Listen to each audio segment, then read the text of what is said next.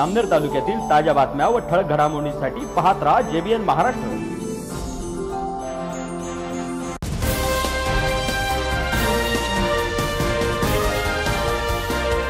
नमस्कार मी मिनल चौधरी पाहूया काही ठळक वृत्त. नमस्कार मी मिनल चौधरी पाहूया काही ठळक वृत्त. धम्मचक्र परिवर्तन दिनानिमित्त बौद्ध धर्मीयांच्या वतीने अभिवादन कार्यक्रमाचे आयोजन करण्यात आले होते. जामनेर शहरात भुसावळ चौक या ठिकाणी नव्याने उभारण्यात आलेल्या डॉक्टर बाबासाहेब आंबेडकर यांच्या भव्य दिव्य पुतळ्याला महाराष्ट्र राज्याचे ग्रामविकास मंत्री नामदार गिरीश महाजन यांनी पुष्प अर्पण करून अभिवादन केले. तर माजी नगराध्यक्षा साधना महाजन माजी अभियंता जे के चव्हाण जामनेर एज्युकेशन संस्थेचे सचिव जितेंद्र पाटील माजी नगरसेवक कैलास नरवाडे यांच्यासह उपस्थित बौद्ध उपासक उपासिकांनी डॉक्टर बाबासाहेब आंबेडकर यांच्या पुतळ्याला पुष्प अर्पण करून अभिवादन केले. आता ज्या ठिकाणी आपल्या राज्याचे मंत्री नामदार गिरीश भाऊ महाजन यांचं आगमन झालेलं आहे. भारतरत्न डॉक्टर बाबासाहेब आंबेडकर या महामानवाच्या पुतळ्याला अभिवादन करत आहे. असे फिरा.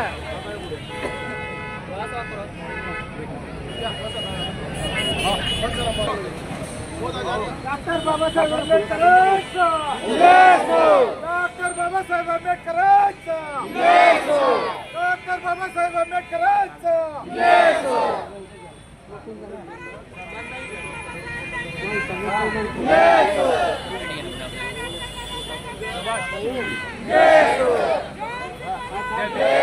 डॉक्टर बाबासाहेब आंबेडकर यांचा पुतळा उभा करून आपल्या वर्षाचा आपला संघर्ष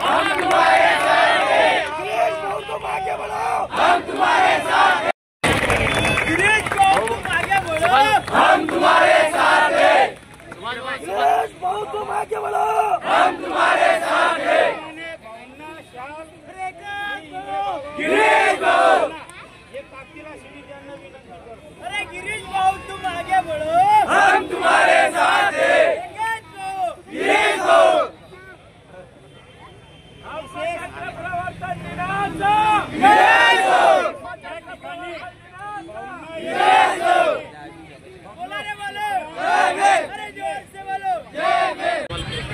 अनेक वर्षापासून आपलं स्वप्न होतं. मी कालही भाषणामध्ये सांगितलं की आपण एकोणीसशे मला वाटतं अठ्ठ्याऐंशी सत्याऐंशी मधली गोष्ट असेल तिला आता किती वर्ष झाले? चाळीस वर्ष झाले असतील. त्यावेळेला इथे दोन उभे केले गेले होते. त्यावेळेला जगन्नाथ जवाजी मराठे सरपंच होते. सरपंच होते. आधी इलेक्शन लागलेलं होतं. त्याचे चार दिवस त्यांनी आधी निर्णय केला की आम्ही इथे बाबासाहेब आंबेडकर आणि छत्रपती शिवाजी महाराज यांची छटून दोन दोन फुटावर दोन मृत्यू राहिले. आणि त्याचे फक्त अर्धाकृती पुतळे या ठिकाणी उभे करतो.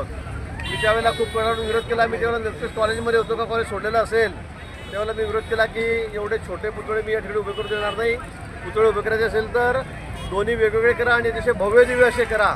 पूर्णाकृती करा असं मी त्यांना सांगितलं आणि इथे येऊन बसून गेलो. बरेच वाद झाले. त्यानंतर हे पुतळे उभे राहिलेच नाही. त्यांना निवडणुका झाल्या ते पडले नंतर ते कधी इकडे आलेच नाही. ते गेले अनेक वर्ष हा प्रश्न तसा प्रलंबितच होता. सुदैवाने मी मंत्री झालो. यावेळेला माझ्याकडे ग्रामविकास खातं टुरिझम खातंही आलं. आणि त्यामुळे आपल्याला भरभरून निधी कोटी रुपयांमध्ये निधी जवळपास आपण इथे किती निधीचा किती तीन कोटी रुपये निधी आपण या कामासाठी या ठिकाणी दिलेला आहे. आणि आपल्या ज्या स्वप्नात होतं आपल्याला जे अपेक्षित होतं तसे बाबासाहेब आपण या ठिकाणी पूर्णाकृती पुन्हा त्यांचा या ठिकाणी उभा केला. अजून काम सगळंच बाकी आहे खरं म्हणजे. आपल्याला काल आचारसंहिता लागेल एक दोन दिवसामध्ये. देवेंद्रजी येणार होते. आणि म्हणून आपण घाईगर्दीमध्ये हा कार्यक्रम निश्चित केलेला आहे. पण अजून पहिला फेज याचा झालेला आहे. दुसरा फेज बाकी आहे. ज्यावेळेला पूर्ण डेकोरेशन होईल लायटिंग होईल मागच्या भिंतीवर वेगळे डिझाईन येईल त्यावेळेला अतिशय आगळं वेगळं रूप या ठिकाणी बाबासाहेबांच्या पुतळ्याच्या माध्यमातून सुंदर असं प्रतिकृती आपल्याला बघायला मिळेल.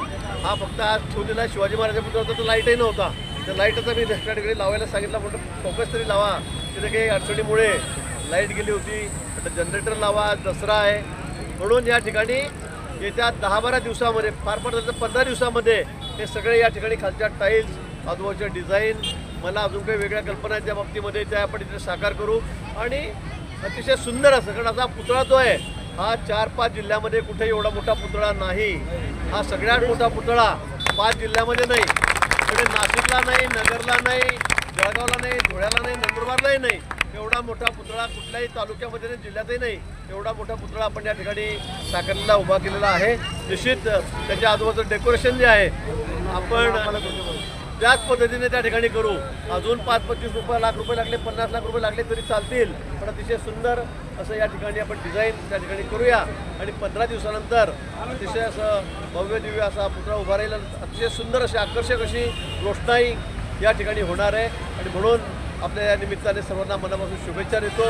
आज दसरा आहे. दसऱ्याच्या निमित्ताने सगळ्यांना मनापासून खूप खूप शुभेच्छा देतो. घरी भरपूर लोक सात आठ हजार लोक येतील माझ्याकडे. भेटायला येतात. त्यामुळे तर मलाही तिकडे जावं लागेल. सगळ्यांची पुन्हा आपल्या सगळ्यांची रजा घेतो. धन्यवाद. या बातमी तिथेच थांबूया. ताज्या अपडेट्ससाठी W W W J B N Maharashtra dot com या आमच्या वेबसाईटला लॉग इन करा. तसेच यूट्यूबवरील आमचे व्हिडिओ पाहायला विसरू नका. आणि Google play स्टोअरवरील J B N news app download करून J B N Maharashtra news channel live पहा. नमस्कार.